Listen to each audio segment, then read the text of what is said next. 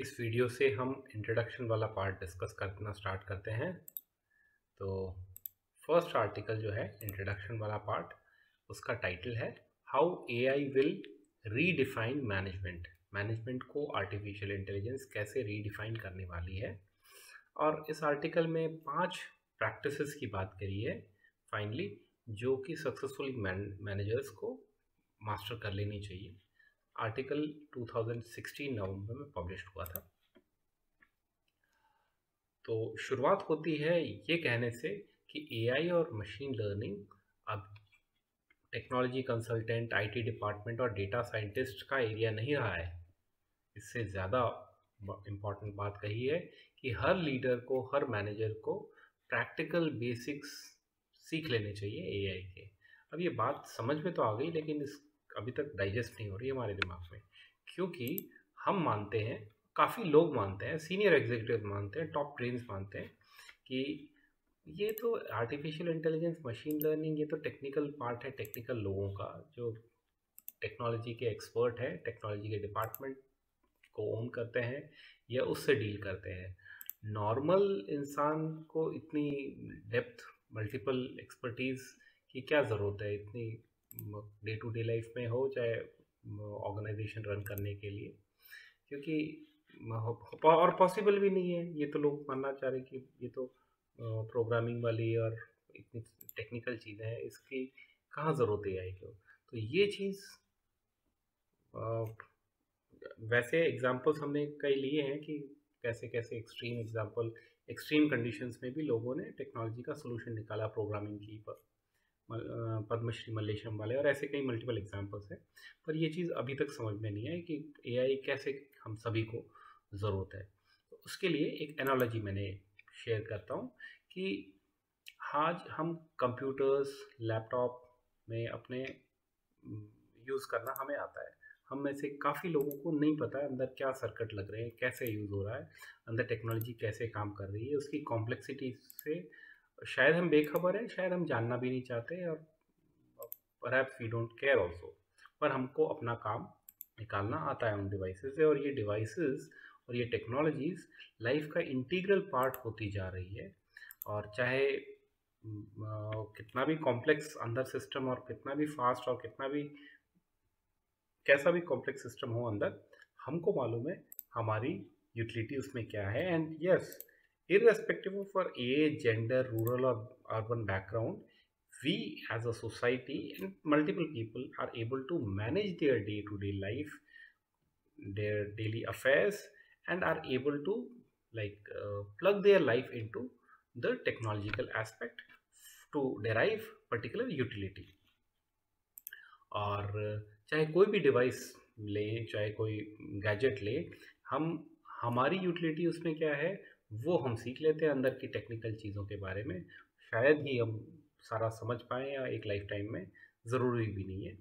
But हमें उसमें से यूटिलिटी कितनी निकलती है, ये चीज़ हम लेते हैं। अब ये चीज़ चालीस पचास साल पहले जब इलेक्ट्रिसिटी नई नई लाइफ सभी की लाइफ में एंटर कर रही थी, तब भी लोगों को नहीं पता है कि कैसे क्या चीज़ चीज़, और आज भी नहीं पता कितना एम्पेयर कितना वोल्ट क्या है।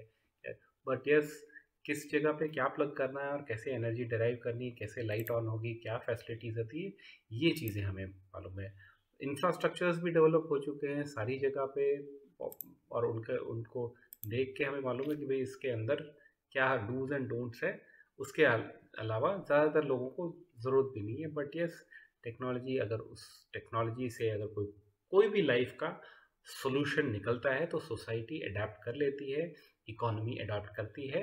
और उसका बेनिफिट डराइव होता है। यही लॉजिक यहाँ पर इन्होंने हाईलाइट करने की कोशिश करी है और इसीलिए ऑथर्स कहते हैं fortunately it is possible for almost anyone to learn the fundamentals of how A I works and what kind of task it does best A I अब कंसल्टेंट्स का आईटी डिपार्टमेंट का डेटा साइंटिस्ट का area नहीं रहा है। हर कोई सीख सकता है हर एक को सीखना चाहिए।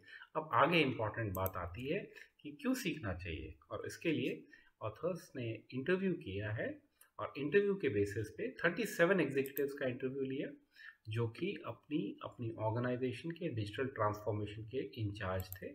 और उन interviews plus survey survey in 14 countries उस ऑफ़ मोर देन 1000 मैनेजर्स इस सर्वे और इन इंटरव्यूज़ के बेसिस पे ऑथर ने अपनी एक समरी हाईलाइट करी है कि कैसे आज के टाइम में मैक्सिमम टाइम मैनेजर्स का एडमिनिस्ट्रेटिव कोऑर्डिनेशन और कंट्रोल में स्पेंड हो रहा है और बहुत कम टाइम वो problem solving collaboration strategy innovation और developing people and engaging with stakeholders ऐसे जो क्रूशल एरियाज़ है उसमें बहुत कम time less than fifty percent they are able to invest and most of them तो इसका मतलब क्या है कि आज भी हमारे ऑर्गेनाइजेशंस मशीनरी इकोनॉमी सोसाइटी बहुत हैवी है जिसमें कि मॉडल काफ़ी हैवी है जिसमें हमें उसका, उसको मेंटेन करने का, उसको एडमिनिस्ट्रेट करने का कोऑर्डिनेट करने का कंट्रोल करने के अंदर ज़्यादा एनर्जी जा रही है। और यहीं से आथर्स लॉजिक के साथ बात करते हैं इसी जगह पे आर्टिफिशियल इंटेलिजेंस और मशीन लर्निंग इस बल्क इस वेट को रिड्यूस करने की कैपेसिटी रखती है।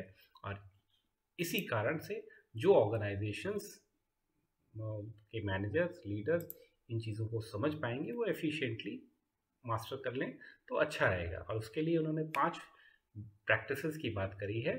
और इस पर ज़्यादा डिटेल हम क्लास में करेंगे, नहीं तो वीडियो ज़्यादा लंबी हो जाएगी।